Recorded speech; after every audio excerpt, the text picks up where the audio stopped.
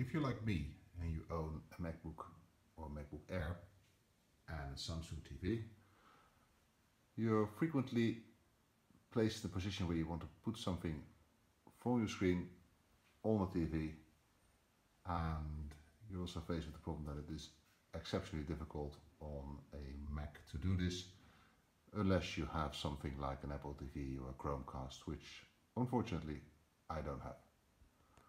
However, found a way and that is using a specific app and you can find that one on the App Store. If you search for Samsung TV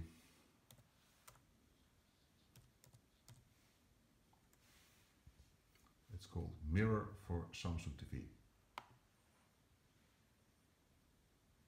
And what it does, it grabs the screen and puts it on the TV and obviously a requirement for this is that the TV is on the same network as your, um, as your Mac itself.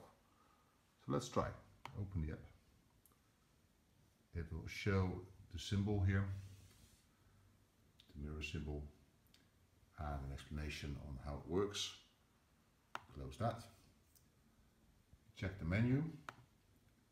You can see that the TV, my TV, Samsung TV has already been detected and I can immediately start mirroring this to TV. It will also allow you to enable audio, which for most movies you really want. So let's start. Mirroring selected. Let's see, it starts doing something on the TV and presto, the screen is shared. Everything I do now on my Mac is mirrored and shown on TV, slight delay. Now let's select YouTube film movie.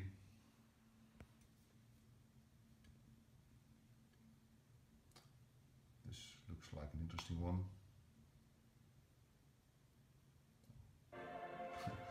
With the ad, of course, which we can now skip. full screen on.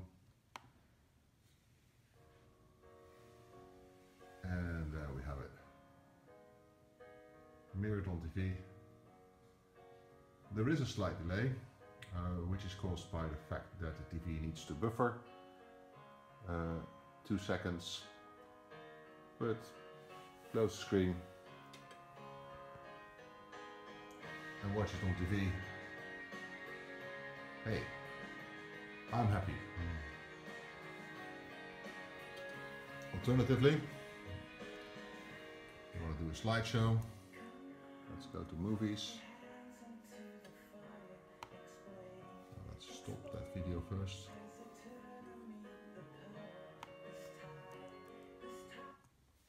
And start the slideshow. Play slideshow.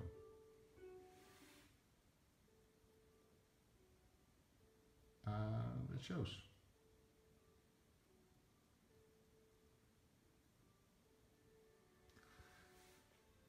Cool is that? Well, not the hat that is. Okay guys, so again, you can find this nifty little app that allows you to play any video or any screen on a Samsung Smart TV without any cables or any additional hardware in the App Store and it's called Mirror for Samsung TV. I hope you like it. Good luck. Bye bye.